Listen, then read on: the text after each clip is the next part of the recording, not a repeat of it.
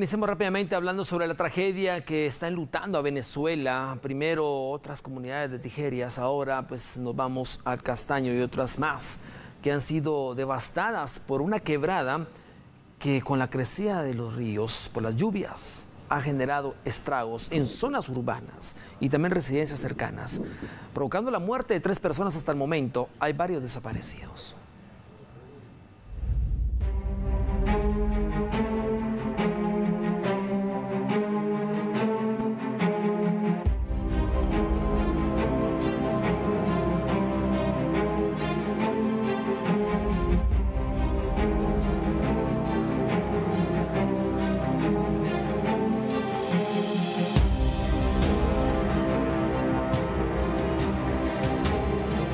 El río El Castaño en Maracay, perteneciente al estado de Aragua y ubicada en la región central de Venezuela, se desbordó tras las fuertes lluvias registradas en la región durante las últimas horas. Ciudadanos de la zona afectada reportaron que el desbordamiento provocó inundaciones, daños materiales, corte de vías importantes y fallas eléctricas. En tanto, el presidente Nicolás Maduro informó que al menos tres personas fallecieron. Las autoridades solicitaron a los habitantes evacuar la zona como manera de prevención 雄。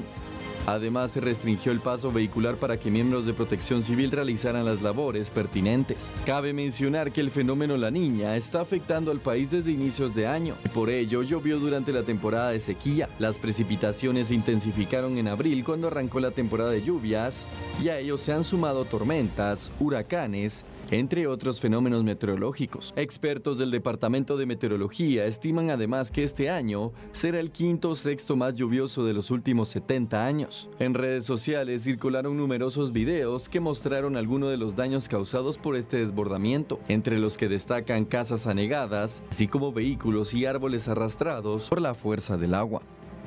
Y seguimos con información internacional, ya que al menos tres personas murieron tras el desbordamiento de una quebrada que provocó severas inundaciones en la ciudad de Maracay, en el estado de Aragua, en el norte de Venezuela. Álvaro Algarra, el periodista de La Voz de América, nos da más detalles. A esta hora me encuentro en el estado de Aragua, en la ciudad de Maracay, justamente en la zona del Castaño, la cual fue fuertemente afectada por unas precipitaciones registradas este lunes que lamentablemente dejaron el saldo de tres fallecidos. Como pueden ver, se desbordó el río. El paso vehicular está cerrado solamente para los vehículos oficiales y para algunos vecinos. Sin embargo, 50 metros más allá no hay más paso. Se ha ido totalmente la vía. Fíjense cómo se encuentra, cómo quedó, cómo fue arrastrado este autobús por la fuerza del agua. Eso fue anoche y aún continúa bajando el agua desde las montañas. Múltiples daños materiales se han registrado en el lugar.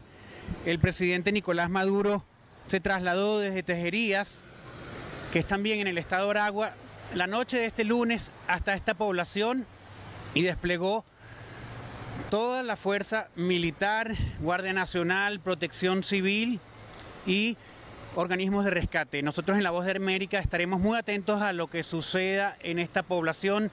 Mi nombre es Álvaro Algarra y me despido hasta una próxima oportunidad.